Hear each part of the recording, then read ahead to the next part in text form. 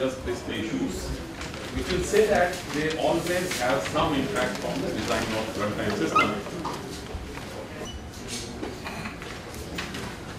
So first issue, uh, to, or the first question we want to ask is, uh, in the while designing runtime systems, do I have recursive procedures or not? Because whether I have procedures which are recursive or not, that is going to have an impact on runtime system, and we'll see. So we'll address each of these issues, okay?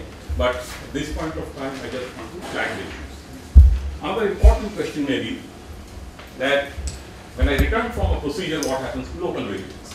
Now, typically, if you have programmed in C or C-like languages, what happens to local variables when you return from a procedure or a function?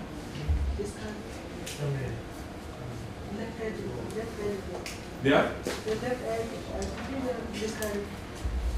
the two things what you're saying is x or minus x. Now both cannot be true simultaneously. They're left as it is or they are discarded. Right? So there's a contradiction.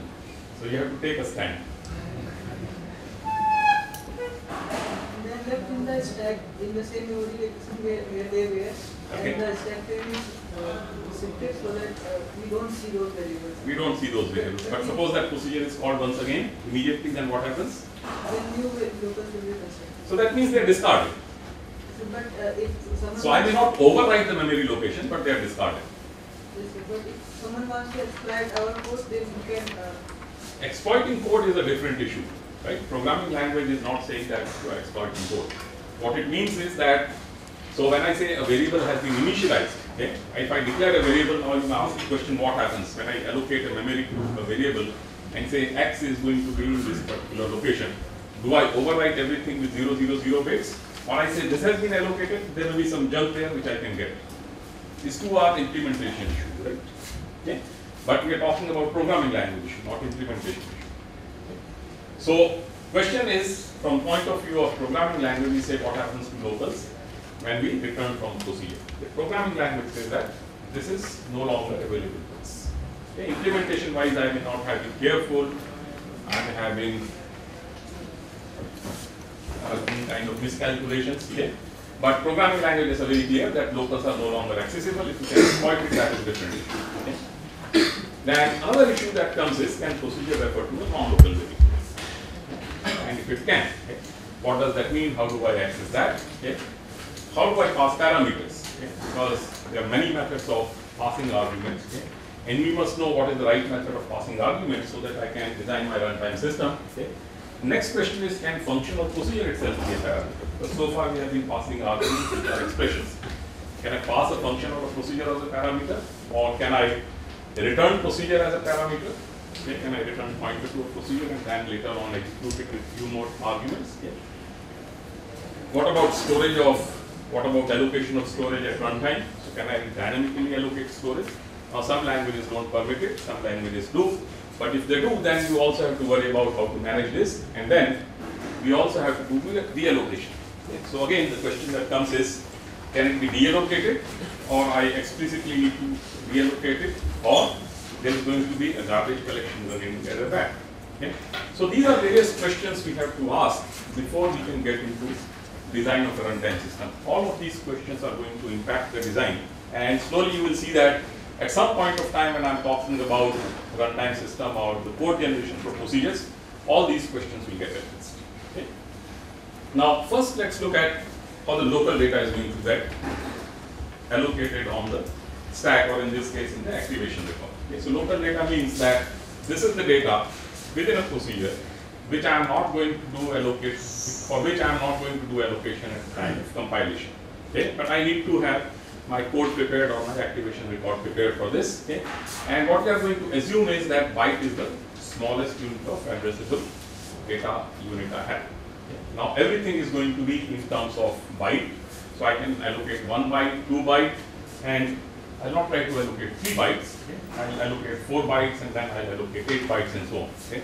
And the reason for this being is that when I talk about words, words will typically either have two bytes, older machines have two bytes, but all newer machines will have either four bytes or eight bytes. And we want to make sure that all my data allocation happens on word boundaries. And there is an efficiency reason associated with that. And the efficiency reason is that when I try to access any data which is aligned on the word boundary, I can do it much faster. And if it is not aligned on the word boundary, then what is going to happen? I need more than one instruction to fetch the same data. Okay? So imagine a situation like this, that I have two consecutive words, each having four bytes, and my data is in these two four bytes. Okay? I cannot fetch it in a single instruction. So I need two instructions and therefore this is going to be a lot more efficient. So we are not going to do that. So multi-byte objects are stored in consecutive bytes and they are given addresses which is of the first byte. So I am going to say that if I have multi-byte data, I'll start storing it from here depending upon whether you have addressing from left to right or right to left. Okay? So I'll give these four consecutive locations and then I'll try to access this and amount of storage needed is going to be determined by the type information. So if I say that I have a short int or I have a character, then I'll allocate one byte to this. Okay? And if I have double precision numbers, I may allocate double precision floating point numbers, then I may allocate eight bytes to this. So type is going to determine that.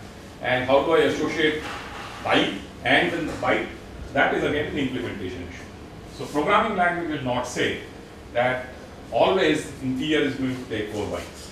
Okay? Programming language, depending upon which machine this is going to get implemented, will determine whether integer is going to be two bytes. So in some cases, if you look at older machines, they said short int and int are going to take the same amount. And somewhere it became other way around. Okay? So this also becomes an implementation. Memory allocation is also going to be done as the declarations are processed. Now this is an important issue because what happens is that as I am parsing my program, I have these declarations. Now suppose I say something like this. If I say int AB, then I have float C, and then I have, let's say, char D, and I again have, let's say, int TF. Okay? Suppose this is how I have written my declaration. Okay? Now in which order I am going to allocate space to this? Okay? Normally in the order, if I am not worried about optimization of space, that happens in some compilers, but normally what I'll do is I'll first allocate space for A, then allocate space for B, and then for C and D in this order. Okay? Now, what is this order making sure that I can allocate space as I'm parsing my program. Okay? As I look at a variable, I immediately allocate space to this. But what may happen in this case is that if I try to align it on word boundaries, then I may end up wasting space. Okay? So I have to insert what we know as padding bytes. So what will happen in this case, for example, so let's assume that each integer is going to take 4 bytes, this is going to take 8 bytes, character takes 1 byte and again integer is taking 4 bytes. Okay? And I have a machine which is a 4 byte machine where word is 4 bytes. So how will it look? How will allocation go? Allocation will go something like this, that this will get associated with A, this will get associated with B, and then next two words are going to get associated with C. Now when D comes, what will happen? This space will go to D, which is a single byte. Okay. Now when E comes, do I start allocating from here? Now the reason I will not allocate from here is that if I start allocating from here, then E will fit in these three bytes and this byte, and accessing this is going to be highly inefficient. So what I'll do, I'll put E here and I'll put F here. But then you will see that these three bytes have been wasted. Okay. Now on most machines, most large kind of general purpose machines, okay, this is not too much of an overhead. I don't have memory problem and therefore I can live with it. But imagine a situation where you say that you have an EEPROM on which you have 4K space and your bootloader has to go. Then you cannot afford to waste all this. Right? So in that case you have to use different strategies. And one possible strategy is that you take all these declarations and sort them in the order of types. And once you sort them in order of types, what will you do? Then you will say that let me start with the largest type okay, and keep on then allocating it.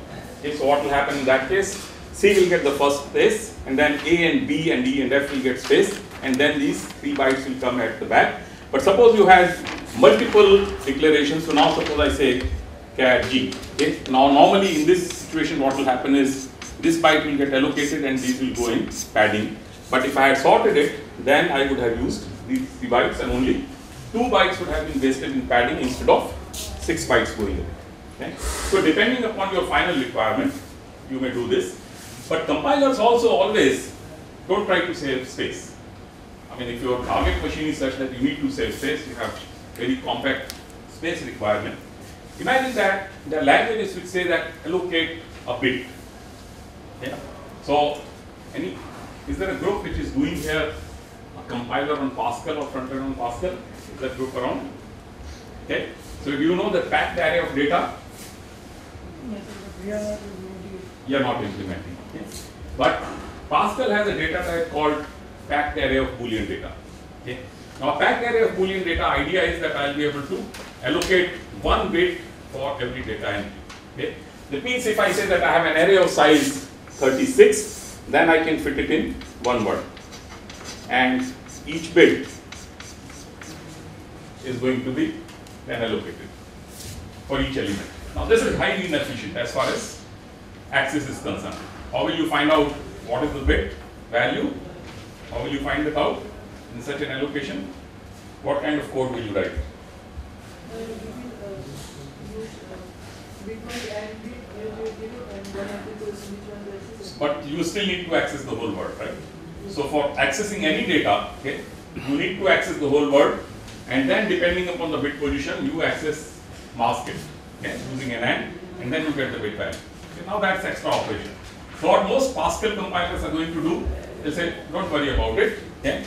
We are just going to allocate one word for every bit. So programmer may say that I have packed array, I am trying to save memory, but suddenly compiler writers found that memory is not a constraint on this particular machine, so why slow down your code? Okay, and therefore allocate one word for every element of this array, that makes it more efficient. Okay? So these kind of decisions compiler writers do take. Okay? So many times I uh, in C you say I want this variable to be in register. What does that mean?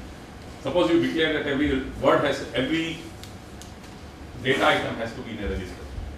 You can give such a declaration in C, right? What will happen? What will compiler do? You just ignore it. Okay? After all, I mean, there's a physical limitation of how many registers your machine can have. Okay? And if it tries to allocate everything in register, what will happen? All the time it will be spilling. So it will be moving something from register to memory and then loading it back. That is going to be very inefficient. Okay? So they will only say that ignore what programmer wants and allocate whatever is only essential in the register. Okay? So as a compiler writer, many times we need to take decisions which even are going beyond than what programming language has specified, as long as functionality is correct. Okay? Because many times programming languages try to decide about the efficiency issues which are really beyond them. So for example, when somebody says packed array of data, okay, programmer and they're leaving it to programmer and the designer saying that this is an efficient way of implementing, implementing it and compiler writer does not agree because of the machine. Okay? So we have to worry about that. Okay? So we have to pack data so that no padding is left and additional instructions may be required to execute this kind of situation. And many times you don't want it unless it's really essential on uh, embedded systems because there the space requirement is, space is critical requirement. Okay? Now what are the storage allocation strategies? So static allocation is one. Now what is static allocation? Static allocation is saying that this activation record statically has to be bound to a procedure and has to be given space. Okay? And then another allocation strategy we have seen is what we know as stack allocation. Okay? So this activation record has to be put on the stack. That is the second strategy. And the third strategy obviously is that you put it on heap. Okay? And heap is obviously going to be that as and when you require some space, you put it on heap, but there is no guarantee that you can access it either by a fixed location or by going to a stack pointer. It could be anywhere and you need to maintain additional pointers for that. Okay? And this is again a requirement coming from the language side. Okay? So let's look at all three strategies and see in which case each one is beneficial. So static allocation. So what happens in static allocation is something very interesting. Okay? Anyone who knows which language uses static allocation?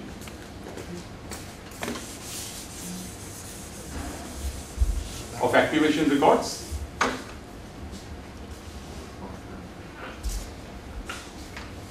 So first what static allocation is that you recall I showed you that we have code, then we have data here, then we had stack going, and stack is the one which was keeping all my activation records, and then I had heap going here.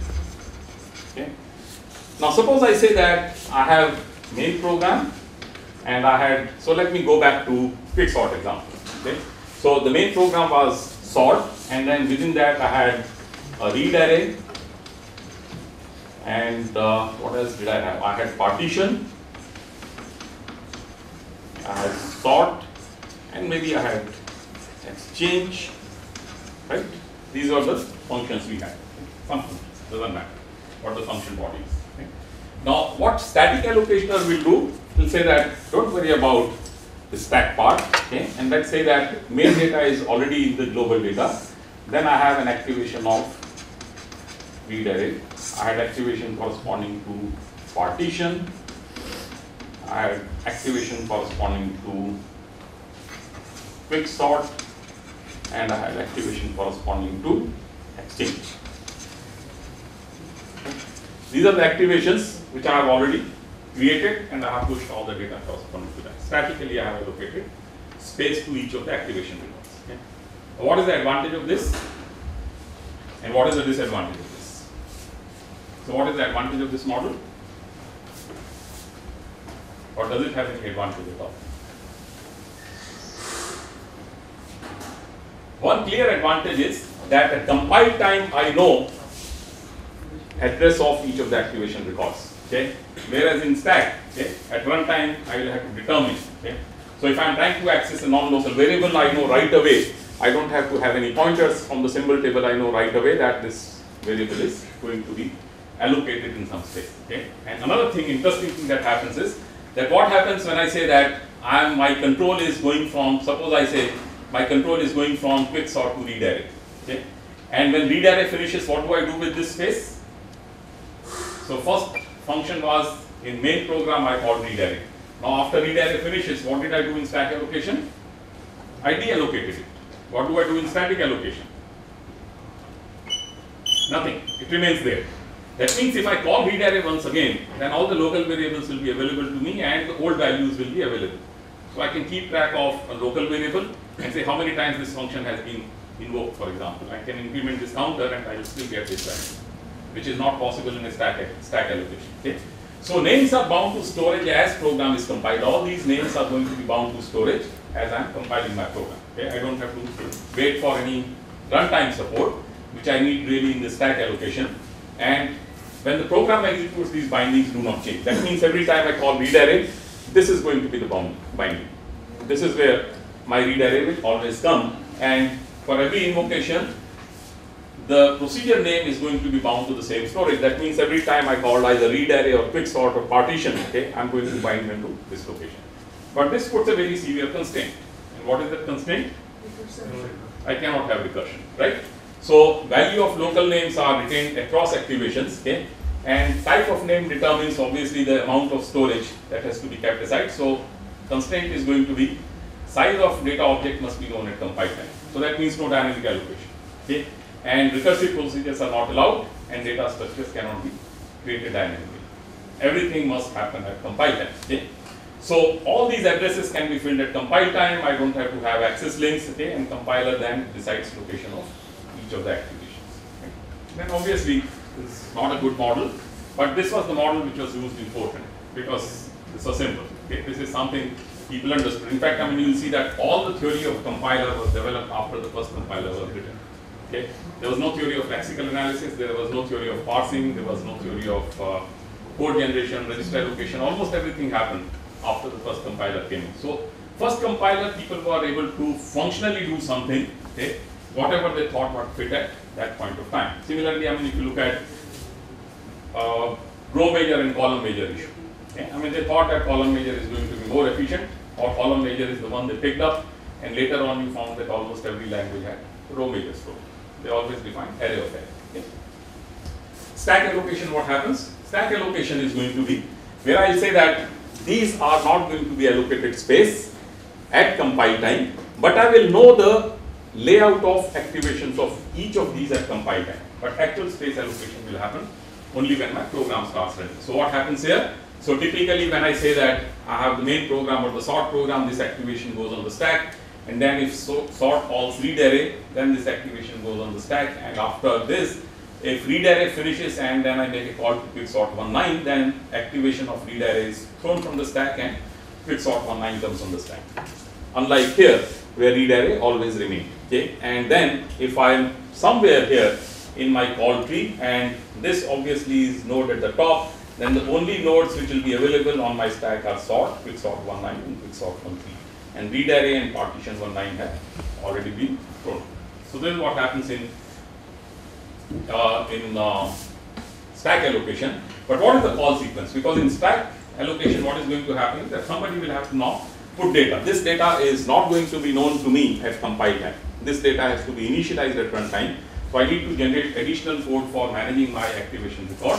So what happens here is that I have a call sequence which is going to allocate activation record and is going to enter information in this field. So I'll actually show you uh, towards and after we have looked at all these issues that how the code for initializing an activation record looks. Okay. And return sequence is when I'm going to restore the state of the machine or status of the machine. Okay. So look at it this. Suppose I have now two activations and this is where my stack is growing. So stack is growing in this direction. This is the activation record of the caller procedure and this is the activation record of the procedure which has been called. So I call, so this is the calling procedure. Okay. And these are the data items it has. It has parameter values, return value because this must also have been invoked by someone. Okay. So this is like a snapshot of two consecutive activations in my stack.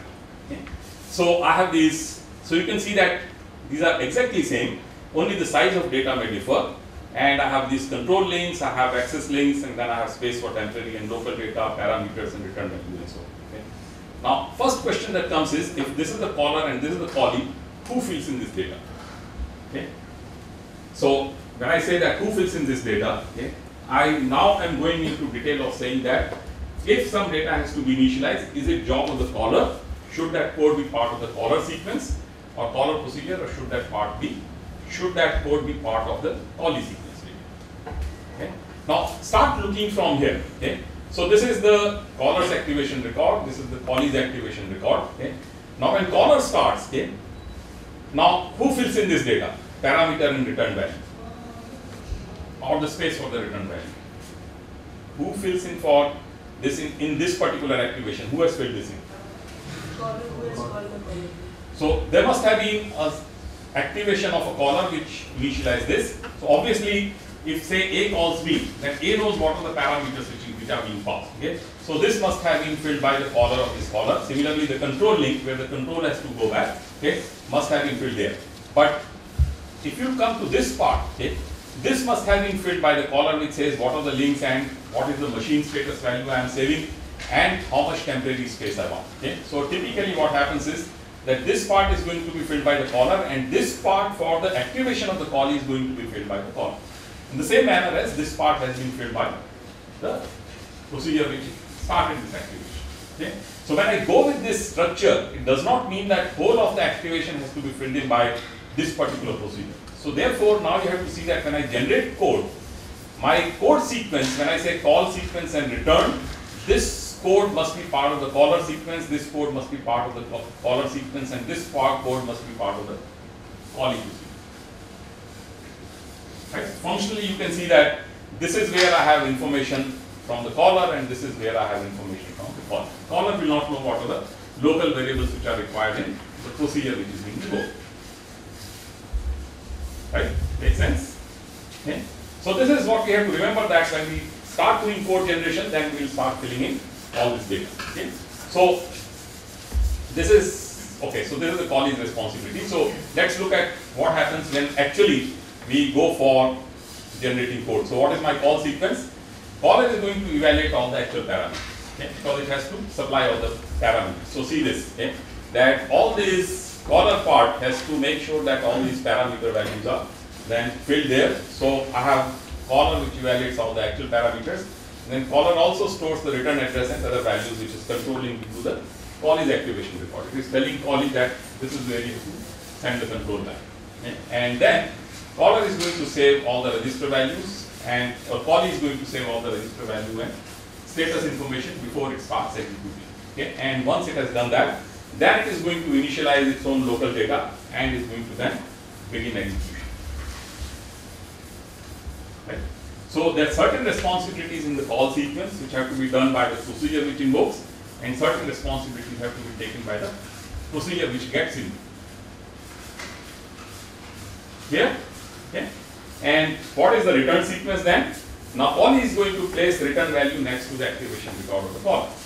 Okay. Now if you see something very interesting is happening here. Calling when I say that I have this activation, so suppose I have a situation where A calls B. This is A and this is B and sequence is A calls B. Okay.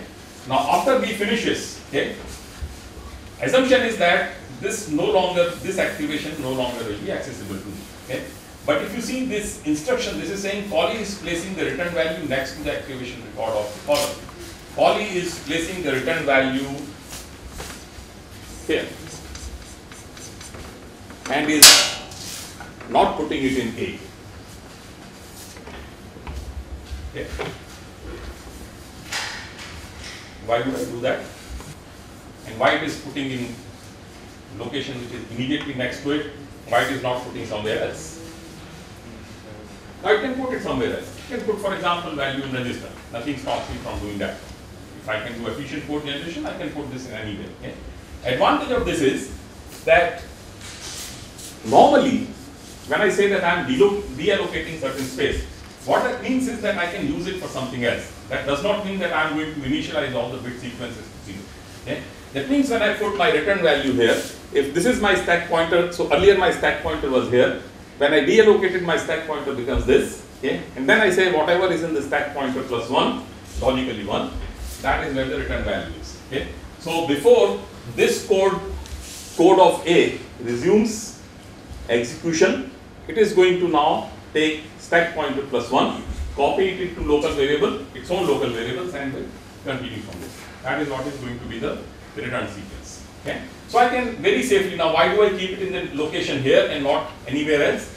The reason is very simple, anywhere else is going to be arbitrary because every time for every activation record that offset is going to be different.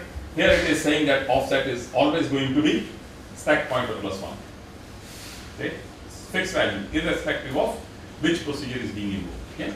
So then what we do that once it places value here, it restores the register values, branches to the return address and return address is stored in the control sequence and then the caller is going to copy return value in its own activation code. So then the caller will have some code sequence where this value will be called copied back and then the execution will start.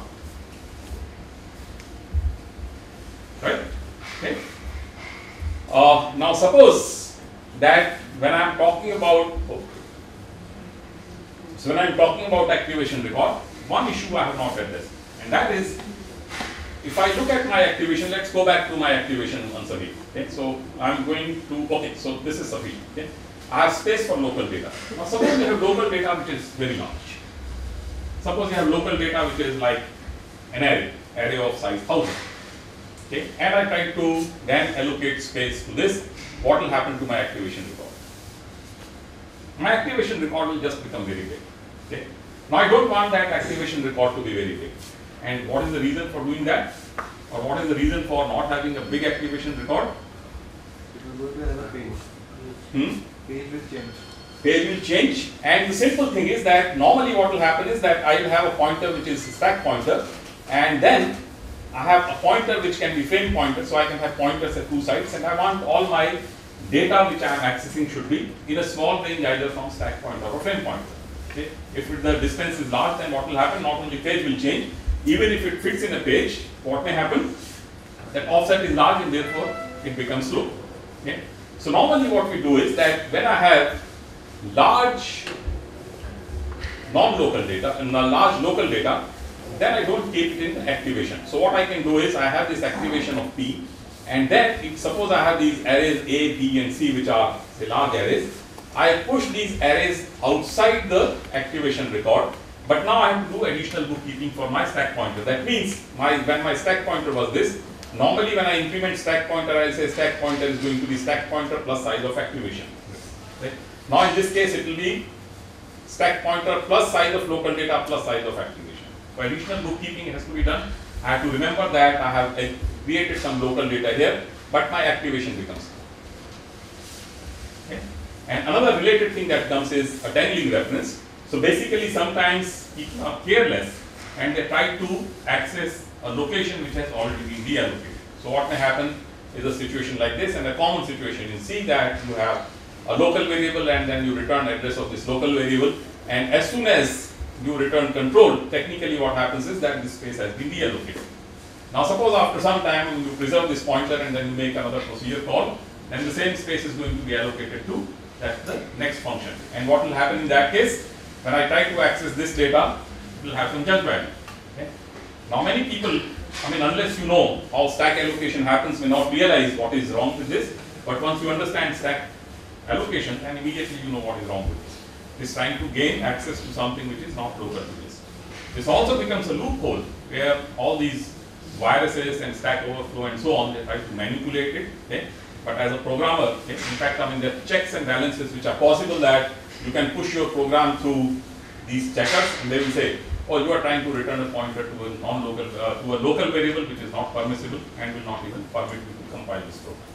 Okay, so there are checkers which are available to this, but this is something even as a programmer you should not do and you can explain it only by talking about stack, stack allocation. If you show it to a C programmer who does not know the runtime model, then you will find that they will not even understand what is wrong with this program. Okay. So I think uh, today I will have to stop here and today we need to take uh, code feedback. Okay. And uh, one of you will have to volunteer, come forward and do the force feedback. Who will volunteer for doing force feedback?